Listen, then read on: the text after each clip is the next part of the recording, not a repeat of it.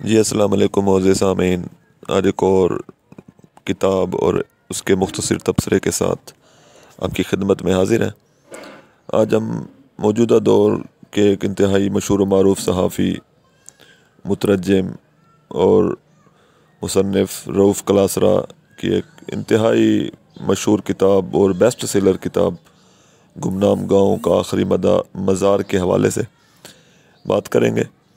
ये किताब सिर्फ़ छः माह के मुख्तसर तरीन अरसे में तीन बार शाया हो चुकी है और यही इसकी कामयाबी की दलील है कि इतने कम अरसे में इस किताब ने मकबूलियत के हैरत अंगेज़ जो है वो रिकॉर्ड कायम किए हैं। उसकी वजह शायद ये है कि ये किताब जो है, ये किसी बड़े शख्स की कहानी, किसी कामयाब इंसान की कहानी किसी मालदार, सियासतदान, ब्यूरोक्रेट की कहानी बयान नहीं करती, बल्कि रूफ़ कलासरा ख़ुद कहते हैं कि इस किताब में किसी बड़े इंसान का ज़िक्र नहीं किया गया। इसमें आम से और गैर मरूफ गरीब, देहाती इंसानों की, उनके ज़िंदगियों की कहानी, उनके दुखों की, उनके गमों की कहानियाँ बयान की गई हैं। और शायद यही वजह है कि इस किताब को पढ़ते हुए आप कई बार जो है वो रो पड़ते हैं। और पहले किताब के आगाज़ में ही रफ़ कलासरा ने अपनी एक मुख्तर सी कहानी या अपनी हवेली का ज़िक्र किया है।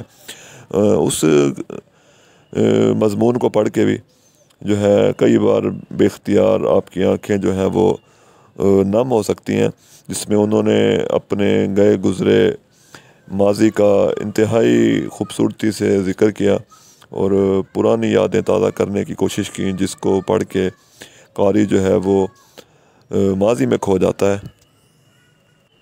रऊफ़ कलासरा रऊफ़ कलासरा साहब ने यह किताब जो है वो अपने गाँव जैसल कलासरा के एक कुम्हार चाचा मीरू के नाम की है।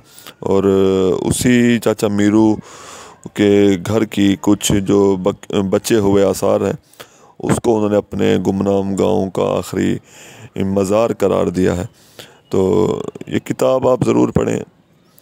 ये किताब आपको ज़रूर जज्बाती भी करेगी, आपको रोने पे मजबूर भी करेगी, लेकिन आपको बहुत कुछ सीखने को भी मिलेगा।